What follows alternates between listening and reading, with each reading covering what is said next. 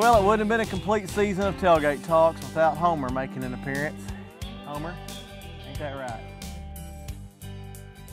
Okay, whatever. Hey, I'm Blake, and this is your Tailgate Talk.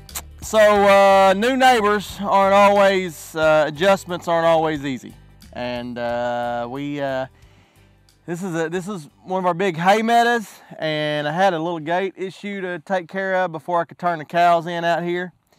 And so they weren't able to come out here. Well, the, the Bermuda in this field is, is incredible. And it was still a little tall uh, from the last cutting. And so uh, we, uh, you know, once once I got the gate fixed and everything, turned them out here, man, they they have not left this field much. And my hay consumption went way down, blah blah blah blah blah, because they've been they just been they've been grazing on this dead Bermuda out here in this hay field forever. So I'm right next door to my cousin Johnny's place. And the first day that the cows came out here, my bull came to this fence. Well, my bull and several of my bull calves, and this guy right here who thinks he's a bull, even though he's a steer. And if you don't know the difference, ask your parents.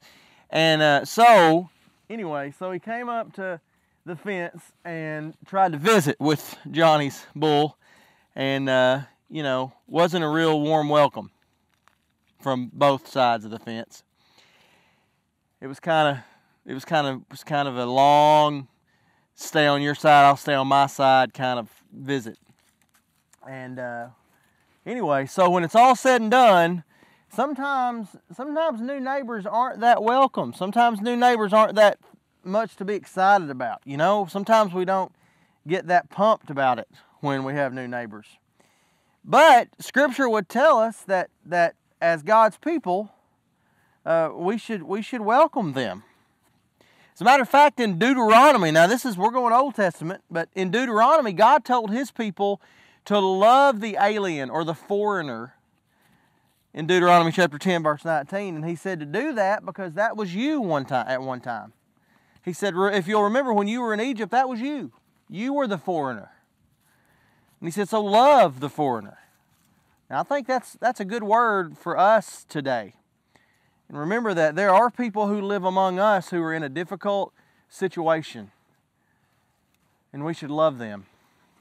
We should show them the love of Christ. Don't take a page from old Bocephus's book back here on the fence that day and try to run the neighbors off. We ought to love them. Ain't that right, Homer?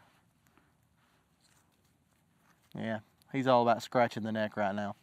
Hey, thank you so much for joining me today. I, I, just want you to know that I, I, sure do appreciate when you join me on the tailgate. You never know where we're going to drop the tailgate and have a chat. Um, so until next time, next week, um, I hope you have an incredible week. And um, we'll see you next time we drop the tailgate and have a chat on Tailgate Talks. Have a great week. I love you. And, uh, and we'll see you next time.